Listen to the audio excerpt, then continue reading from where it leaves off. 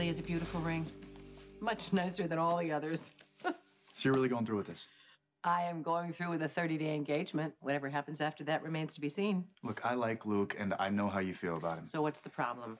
Mom, look at everything he's put you through this past year. He wasn't himself. Okay, so maybe now that he is himself, you can take things slow. Why throw an engagement party the same day he pops the question? Luke wants to give me a party. I'm going to let him. AJ just had her bath, and I thought she might enjoy some afternoon sunshine in I here. I think that's a great idea. Come here, little one. I loved playing in this room when I was a kid. Uh, just one question who's AJ?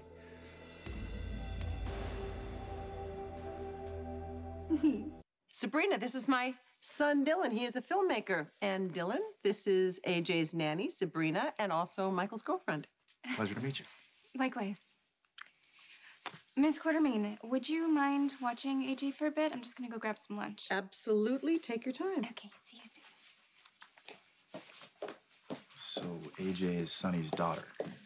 Uh, biologically, however, Michael managed to win at court and got full custody.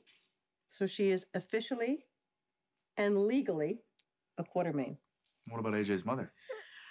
Uh, she's dead.